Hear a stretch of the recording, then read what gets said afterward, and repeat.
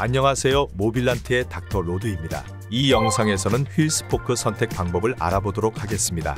가장 먼저 허브에서 지원 가능한 스포크를 확인합니다. 대부분의 자전거는 14게이지 스포크를 가장 많이 사용합니다. 전기 자전거는 출력마다 스포크 굵기가 달라지며 1000W 이하는 일반적으로 12게이지 굵기의 스포크가 사용됩니다.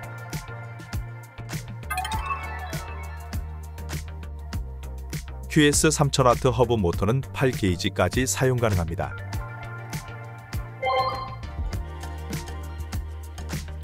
aero 스포크를 사용하기 위해서는 keyhole을 가진 허브를 사용을 해야 합니다. 또는 직접 keyhole 구멍을 만드는 방법이 있습니다. 그리고 스포크 비틀림을 막기 위해서 스포크 홀더가 필요합니다.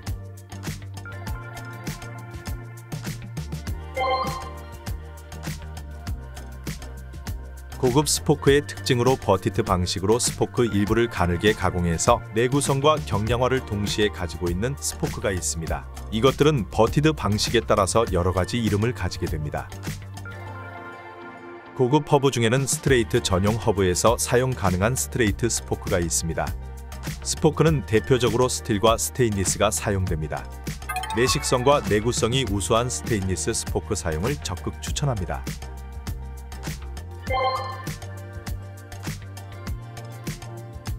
니플은 대표적으로 황동과 알루미늄 재질이 사용이 됩니다.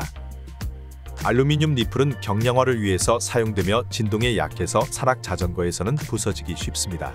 특히 전기 자전거나 다운힐 bike는 무겁지만 내구성과 내식성이 우수한 황동 니플 사용을 추천합니다. 휠 직경이 작을수록 짧은 길이의 니플이 사용되며 road bike와 같은 긴 스포크를 가진 휠은 좀 더 강한 페달링 동력 전달을 위해서 스포크에 큰 장력을 만들 수 있는 긴 니플을 사용합니다.